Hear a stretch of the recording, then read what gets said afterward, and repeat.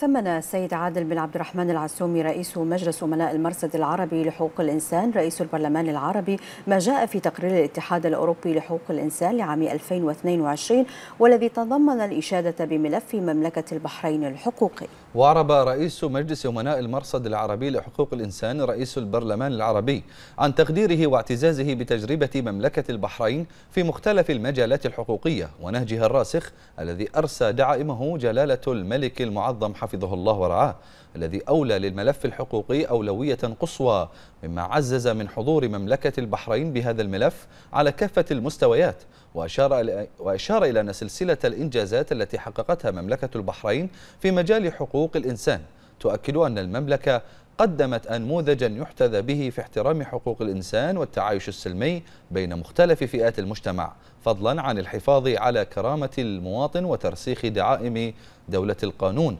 مثمنا برامج وسياسات الحكومة الموقرة برئاسة سمو العهد رئيس مجلس الوزراء حفظه الله والذي عكس الرؤية الملكية على أرض الواقع للاهتمام بالملف الحقوقي.